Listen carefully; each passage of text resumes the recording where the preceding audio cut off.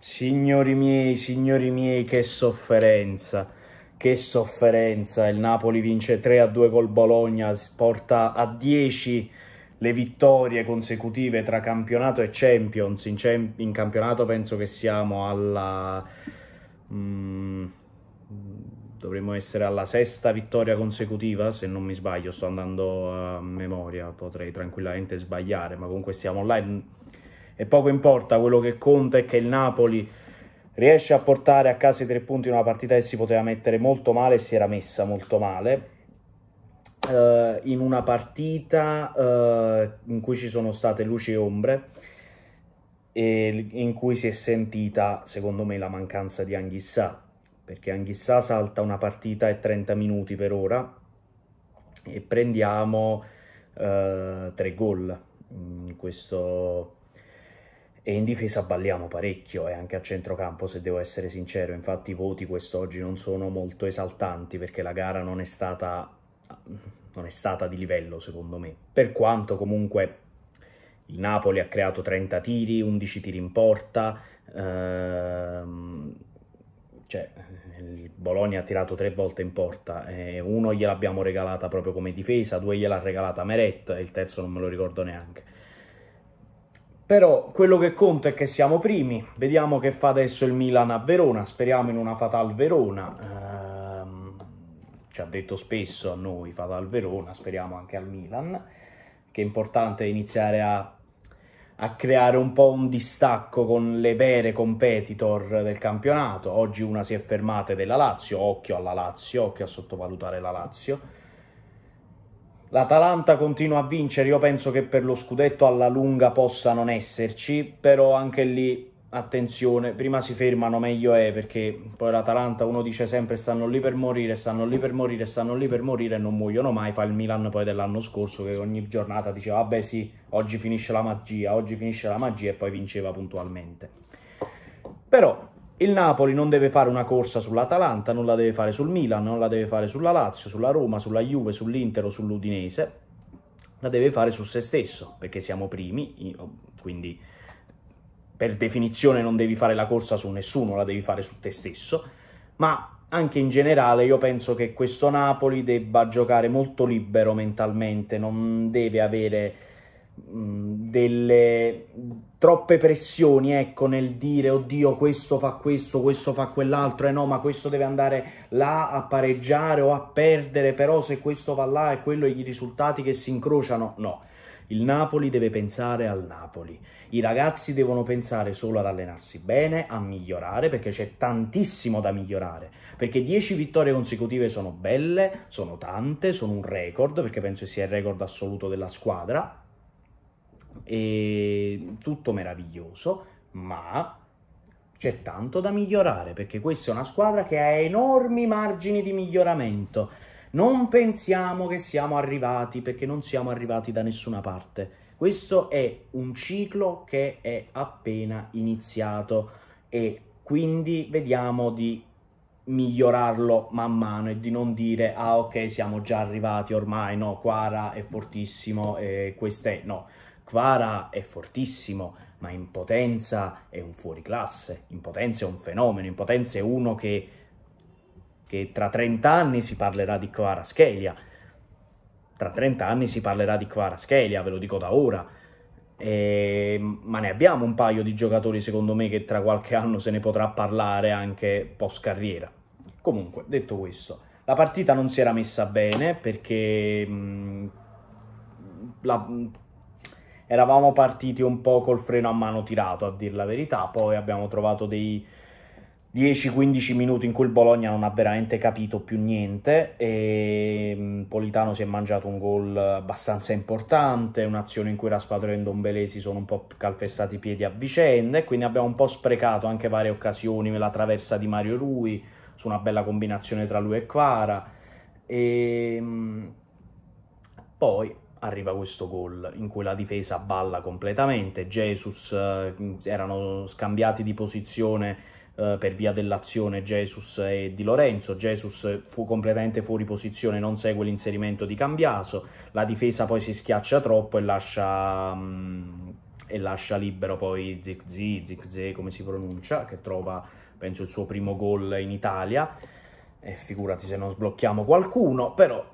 la partita poteva mettersi molto male perché Tiago Motta è uno che a Napoli è un allenatore in generale che a me non dispiace, però è un allenatore molto fortunato, c'è da dirlo, ed è un allenatore che quando ha l'acqua alla gola arriva al San Paolo, Napoli-Genoa 0-0 e se Culibali non salva sulla linea Pinamonti segna e perdi anche là. Uh, Napoli-Spezia l'anno scorso è stato capace di vincere senza tirare in porta, quest'anno già eri 1-0 e dicevo ecco qua, mo ci sta rifilando di nuovo, uh, di nuovo un, una bella sconfitta comunque un, ci toglierà dei punti. Poi per fortuna su un calcio d'angolo un gollonzo di Juan Jesus, che sono contento che si sia rifatto per l'errore uh, sul gol. E poi a me fa sempre piacere quando Jesus fa bene perché mh, un giocatore che ho sempre difeso, pure, quando, pure dagli scetticismi di quando arrivò. Io dissi aspettiamo, vediamo e alla fine comunque un difensore senza poi non è Kim eh, che, che, che, dici ah che bello, non è Koulibaly che oddio, Albiol, ma neanche Rachmani, è un difensore normale, ma il difensore questo deve fare, un difensore che magari ti fa la stronzata, però poi comunque la partita non è uno che di esperienza, quindi poi il resto della partita non è che la fa oddio che sta succedendo, ma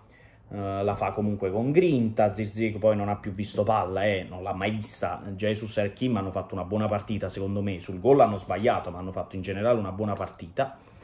E comunque riesce a trovare poi questo gol, uh, il, il, grande Juan Jesus, poi troviamo il 2-1 con Lozano e poi il 2-2 su una buccia anche molto grave di Meret che vabbè, Meret non è nuovo diciamo a questo tipo di errore, eh, oggi ha giocato molto male Meret, infatti il voto è molto basso, sul, diciamo è andato al contrario di Juan Jesus che ha fatto l'errore, poi dopo ha segnato e ha giocato una bella partita, Meret dopo l'errore era in stato confusionale, eh, stavamo prendendo gol verso un calcio d'angolo, è uscito a prendere le farfalle mentre il pallone è passato, eh, pure in un paio di situazioni ho visto a un certo punto Meret che se l'era chiamata, almeno mi è sembrato che se la fosse chiamata, poi magari aveva detto spazzala, giustamente non sono in campo quindi non posso capirlo, però mi era sembrato che se la volesse chiamare perché stava anche uscendo una palla, mm, una palla in aria e, Meret, e Mario Rui invece l'ha spazzata. Sono piccoli segnali di non magari una fiducia proprio estrema verso il portiere, però ovviamente non buttiamo ora la croce addosso a Meret perché Finemmo ha fatto un super campionato e a Milano ricordiamoci chi ci ha dato i tre punti perché se lui non fa determinate parate eh, hai voglia di Simeone si è girato la perdiamo quella partita se Meret non fa determinate parate. Idem con l'Ajax, con Rangers, con Liverpool. Dai, ora non massacriamo Meret, riconosciamo l'errore, gli daremo un brutto voto in pagella, gli daremo una scoppoletta, però dalla prossima farà meglio, spero. Comunque, poi sul 2-2 entra Osimen, che era in realtà già entrato da prima, su un assist sontuoso di un giocatore sontuoso che è Kvaratskhelia, riesce a trovare davanti a Skorupski un gol, segna il 3-2, poi abbiamo varie occasioni per fare il quarto, il Bologna oltre quel calcio d'angolo che ho detto poi non crea veramente più niente, ma ho detto hanno fatto tre tiri, due gol e uno regalato, quindi il Napoli aveva più occasioni di fare il 4-2, abbiamo preso anche un'altra traversa con Zielinski, quindi alla fine abbiamo comunque portato a casa i tre punti. Ora passiamo alle pagelle. Meret 4, mi sono già espresso. I terzini non mi sono piaciuti né uno né l'altro, infatti la partita è anche un po' cambiata difensivamente quando abbiamo messo Olivera al posto di Mario Rui. 5 più Mario Rui, 5 più di Lorenzo, uh, eh, 6 più Kim, uh, per, l'ho spiegato anche prima, comunque la partita sul gol sbaglia perché rincula troppo verso il portiere quando doveva invece uscire di più, più aggressivo. Uh, però per il resto poi ha giocato una buona partita. Jesus 7 meno perché... Mh, sul gol è molto responsabile, però comunque poi segna l'1-1 e si fa perdonare, poi per il resto gioca una gran partita. Senza quell'errore gli avrei messo probabilmente 7,5, però è giusto che quell'errore pesi, perché poteva condizionare tutta la gara. Zielinski, centrocampo è stato sinceramente anche abbastanza buono, perché Zielinski ho dato 6 che per un pezzo della partita non c'è stato come al solito, poi ha preso quel palo, poi con, quando è uscito un Dombele è entrato Elmas si è visto un po' di più, Uh, Dombele non ha giocato bene oggi. E Zielinski ha, a fasi alterne, anche lui diciamo un po' il simbolo di questa squadra oggi, cioè luci e ombre, ha fatto alcune cose bene come qualche assist, qualche combinazione, il tiro che vabbè è stato deviato e poi ha preso la traversa, però ci sono troppi momenti in cui Zinischi scompare proprio, esce Ndombele entra Elmas e lui si rivede un minimo, mm, forse perché Ndombele occupava anche qualche zona un po' più avanzata, quindi Zinischi stava un po' più dietro, non lo so, comunque 6, Lobotka 6 più, un po' in ombra oggi ma finalmente ha riposato, uh, Ndombele 6 meno e sono molto buono, perché non mi è piaciuto, molto spesso si lì si è sentita proprio l'assenza di Anghissà, perché ti mancava quel, quella fisicità eh, nel recupero palla, eh, ti mancava un po' di filtro, ti mancava uno che venisse a dare una mano all'Obotka in fase di impostazione, quindi diciamo sei meno perché sono molto buono, io spero che con la Roma Anghissà recuperi perché non ho capito se doveva mancare tipo una settimana, poi ho sentito quattro settimane, non lo so, io avevo sentito che con la Roma potesse tranquillamente tornare o comunque con Rangers, Speriamo che torni perché è molto importante che Anghissà giochi a Roma, perché Roma sarà una partita fondamentale. Poi Quara 8 meno, quel meno è perché ogni tanto si fa prendere, diciamo anche a Quara, questa è una scoppoletta che gli do, perché è molto forte e sa di esserlo, deve saperlo un po' meno, perché fa delle cose strepitose, perché quando punta lo salta quasi sempre l'uomo, è veloce, eh, crea occasioni, dà assist, è, è un giocatore fenomenale Kvaratskhelia, veramente eh, abbiamo un fenomeno in squadra, però ogni tanto, come dico io, si fenomenizza, cioè si, si specchia un poco troppo, ecco, usando termini non inventati da me. Uh, sta lì, fa il, il colpetto con l'esterno, il tacchetto e il, il velo e la cosa e perde magari palla. Deve essere un po' più concreto perché lì è anche un piccolo step di crescita che deve fare, un piccolo grande step di crescita che deve fare Quara, un po' più di cinismo, un po' più di concretezza. Raspadori 5,5 non mi è piaciuto ma non era la partita per lui secondo me. Roma sarà la partita per Raspadori, deve giocare Raspadori a Roma. Questa era la partita per Osimen secondo me infatti è entrato e comunque ha segnato. 5,5 non mi è piaciuto. Politano 5,5 si è divorato un gol, era partito anche bene andando a pressare, combinazioni, poi Di Lorenzo l'ha lasciato molto da solo eh, perché non si andava mai a sovrapporre, lui era sempre triplicato, però poi dal gol mangiato Politano è completamente sparito e la partita cambia quando esce. Osimen 7 entra e spacca la partita, segna e comunque è un giocatore importante che, che ne diciamo tutti, eh, perché anche io lo sto iniziando a criticare e dico che è un giocatore che ha tanti limiti, ma rimane un giocatore importante. Nonostante tutto rimane un giocatore importante, ce lo dobbiamo mettere in testa.